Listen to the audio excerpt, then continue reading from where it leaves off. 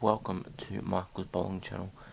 On my channel, at least we're going to be talking about bowling and everything I do with tenpin bowling, including doing tournaments and league nights. So I'm going to take you on that journey of my bowling channel.